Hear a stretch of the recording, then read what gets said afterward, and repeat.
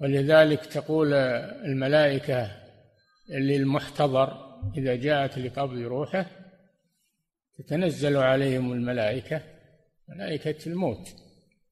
ألا تخافوا على ما أنتم قادمون عليه فإن أمامكم الجنة والرحمة. ولا تحزنوا على ما تركتم من الأموال والأولاد لا تحزنوا عليها. نعم.